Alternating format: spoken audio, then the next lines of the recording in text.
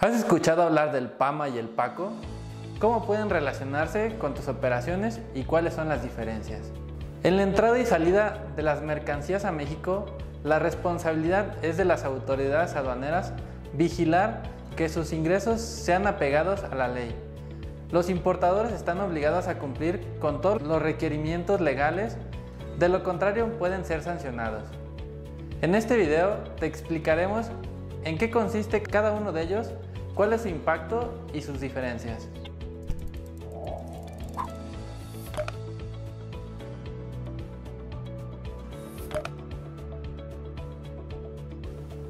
El PAMA es un proceso administrativo en materia aduanera que consiste en un conjunto de actividades consecutivas que la ley aduanera lleva a cabo como medida preventiva para determinar el estado de la mercancía con el objetivo de prevenir irregularidades en los productos que entran y salen del país. Un PAMA se realiza con el levantamiento de un acta al importador y el embargo precautorio de las mercancías, tal y como lo establece la ley aduanera en el artículo 150, lo cual indica que el, el inicio del proceso. Los principales motivos por los que pueden llevarte a un PAMA son introducir mercancías por un lugar no autorizado, declarar un valor inferior al 50% o más del valor de las mercancías, declarar datos falsos del importador o entregar documentos falsos. El PACO es el proceso administrativo por contribuciones omitidas que se aplica a irregularidades menores en documentos, mala clasificación arancelaria o inconsistencias en la declaración de mercancías que ameriten un proceso de investigación. El PACO se lleva a cabo cuando el importador, durante el reconocimiento danero o la verificación de la mercancía, comete los siguientes irregularidades.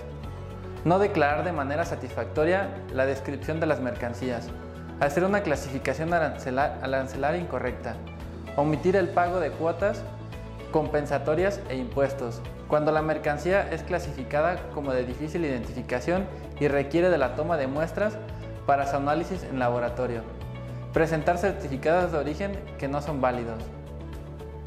Te preguntarás entonces cuáles son las diferencias entre PAMA y PACO. Existen diferencias marcadas entre ambas. Es preciso establecer que el PAMA se rige de los artículos 150 y 153 de la ley aduanera y el PACO del artículo 152 de la misma ley. En el caso del PAMA, una vez se levanta el acta de inicio, las mercancías se embargan de manera precautoria de acuerdo con, la ley, con lo que establece la ley aduanera, mientras que en el embargo del PACO no existe un embargo precautorio de la mercancía. Se levanta el acta circunstanciada y se realiza la determinación de las contribuciones a través del análisis de inventario. Cabe aclarar que si procede la imposición de la sanción, sin la determinación de contribuciones o cuotas compensatorias omitidas, ni el embargo precautorio de mercancías, es decir, un PACO, la autoridad aduanera tiene la facultad de establecer el crédito fiscal sin necesidad de que se lleve a cabo un PAMA. Otra diferencia entre ambos procesos administrativos es que en el PAMA, cuando la resolución es condenatoria, se fincan las sanciones correspondientes y en el PACO Además de, imponer sanciones, se determinan las contribuciones y cuotas compensatorias omitidas. Por último, puede que te preguntes cómo puedo solventar estos procedimientos. Si el importador es sujeto a un PAMA o un PACO, requiere una asesoría de un agente aduanero especializado que guía al importador en el proceso.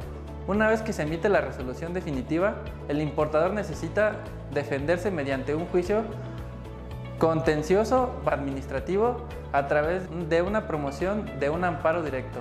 Recuerda que cualquier irregularidad durante el ingreso y salida de la mercancía implica una sanción por mínima que parezca. No te arriesgues.